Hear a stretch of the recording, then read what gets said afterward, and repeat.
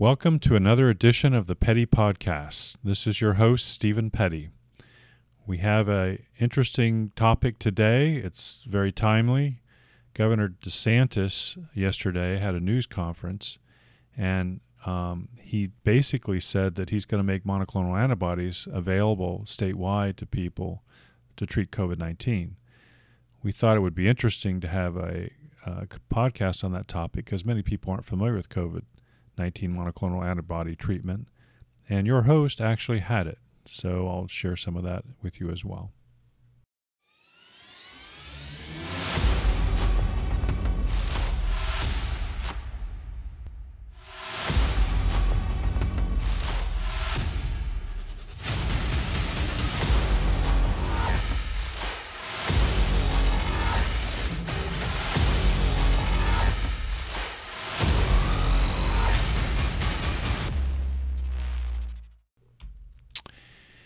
Here's uh, a copy from the New York Daily News of the uh, announcement by Governor DeSantis uh, regarding the fact that he's uh, going to make an emphasis for using uh, treatment of monoclonal antibodies for people with COVID 19. So, what are monoclonal antibodies? What was he talking about? Um, well, first of all, um, originally they were a cocktail of products made by Regeneron Pharmaceuticals Inc., also known as Regeneron. They're located in Tarrytown, New York. And most recently, Eli Lilly has their own cocktail.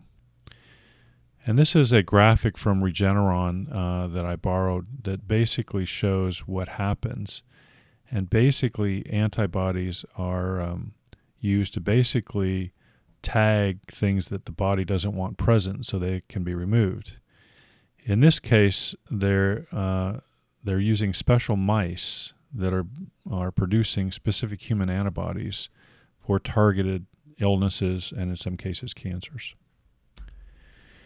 So here's a, another graphic that uh, comes from uh, the JAMA um, patient page. I thought it was interesting and helpful um, because they define these terms as well as show some graphics. So you see the spike protein on the left part of the graphic, and it's injecting itself into a host cell where it's trying to replicate. And what happens is these antibodies come flying in, and they grab a hold of it, and they basically identify this uh, this spike protein as somebody that shouldn't be there. And by identifying it as such, then the body uh, uh, cells come and take it away and that's how your body defends itself. So, an antibody, by definition, is a protein that's naturally produced by the immune system in response to an infection. So, it's tagging things it doesn't want present. A monoclonal antibody is is sort of an artificial antibody developed in a lab, in this case by uh, special, specially designed mice, and it enhances the body's immune system to uh, protect against an invader. I thought this graphic would be helpful to see that. So, uh, what are these as far as uh, you hear the term monoclonal antibodies, but what the heck are they and when were they authorized to be used? Well, the very first time we heard about this was when President Trump received uh, an infusion under the compassionate care request for a product that was not authorized either under emergency use or otherwise by the FDA. And this was the Regeneron infusion that he talked about and then said he felt so great the next day. Since then, there have been two emergency use authorizations. We call these EUAs, one for Regeneron and one for Eli Lilly recently. The in November of 2020, the Regeneron cocktail, um, which consisted of two antibodies known as RegenCov 2, was issued an emergency use authorization. Um, another uh, FDA did lower have the dosage required uh, on June 4th, very recently of 2021. So that's a new order out on that original November 220 um, emergency use authorization. And very recently, in May 20th, the FDA issued an EU for a second cocktail, also including two antibodies, to Eli Lilly. So basically, you have two products out there now, both having two antibodies. There are limitations on who can get these and and um, and their usage. And the key point to be made here is that uh, they must be given early in the disease progression. This fact is not known by most. Um, in other words, they must be issued within 10 days of the onset of the disease. So you need your doctor to give you an order if you fit the right categories so that you can get to it before it's too late. Because if you're hospitalized or you're under uh, uh receiving oxygen, they will not issue an order for you to get this treatment. That's something most people don't realize. So, who's allowed to uh, get this treatment? Not everyone. Uh, you have to be over 40 kilograms. You have to be older. You have to have some sort of conditions overweight, kidney disease, hypertension, your immune system's compromised, sickle cell. There's a whole list here. Um, but many, many people obviously would be uh, in a position to receive this treatment. So I thought it would also be interesting to share with you my experience because about three weeks ago I received it. Uh, I will have a podcast coming up. Uh, we've uh, recorded it, it's in production on my experience getting COVID. Um, but as part of that, um, I was aware of and kept track of the science that this was a, an available treatment for me. My first observation was it was hard to get the doctor to issue it.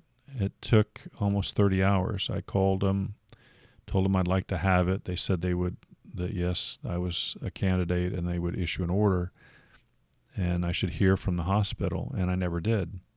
So I called them again, and they uh, did finally do that. And of course, meanwhile, the clock's running because I was in day four, and you don't want to get further sick in such a condition that you can't get it or be too late. The cocktail that I was given was the Regeneron one. Uh, it's an IV. It must be given in the hospital. Uh, it took about two hours to uh, get the treatment. They put an IV in uh, just above, in your arm, just above your wrist. First, they put some saline solution into you. Then the cocktail's introduced, and then they finalize that with some saline solution. I think mainly to sit there and watch and make sure you don't have any negative reactions. Um, one thing I thought was curious is even though I was recently infected with COVID, I was simply escorted through the lobby of the hospital and into a treatment room. No special precautions, avoiding other people or PPE. I thought that was sort of interesting being an industrial hygienist and exposure expert.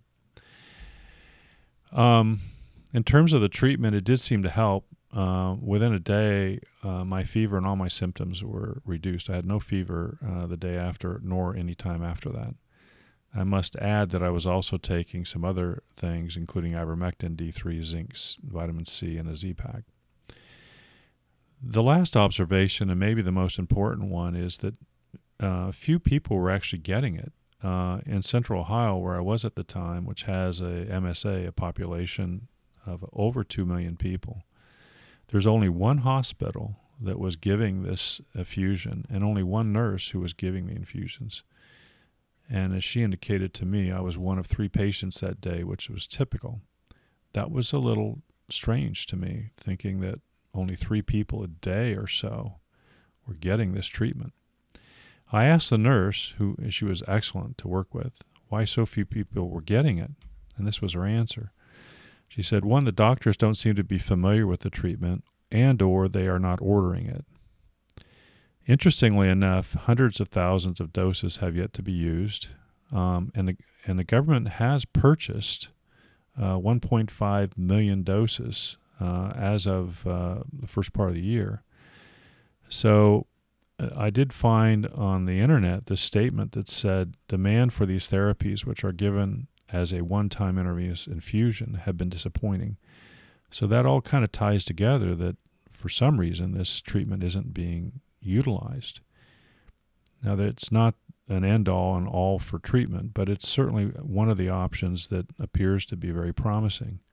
So perhaps Governor DeSantis' press conference will help at least making the treatment option more known, and hopefully this podcast will help you understand some of the limitations, the need to make sure you ask for it early, you insist on it, because if you wait too long, you can't get it. Um, so hopefully this has been helpful to you. We really appreciate you listening, um, and we hope you turn in for our next podcast. We'll have one up at least a week and maybe two a week. Thank you much for listening. Have a great day.